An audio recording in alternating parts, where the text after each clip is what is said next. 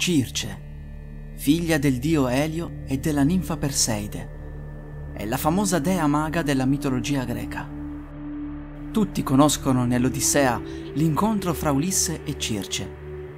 La maga aveva trasformato in animali gli uomini dell'equipaggio di Ulisse, ma quest'ultimo, grazie al dio Hermes, era in possesso di un'erba che avrebbe impedito la sua trasformazione. Ulisse sguainò la spada per uccidere Circe, ma ella lo supplicò di risparmiarle la vita, offrendogli la sua isola e il suo amore.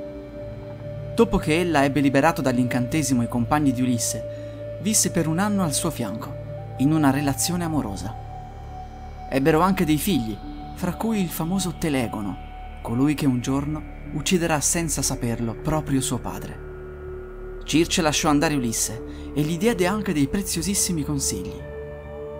Questo suo gesto potrebbe apparire normale, ma in realtà si trattava di qualcosa di incredibile per una donna passionale e vendicativa come lei, con una filosofia del tipo o sei mio oppure vedrai la mia vendetta. Questo denota che Ulisse aveva realmente conquistato il suo cuore. La famosa isola di Circe si chiamava Ea e viene identificata con l'attuale promontorio del Circeo, nel Lazio.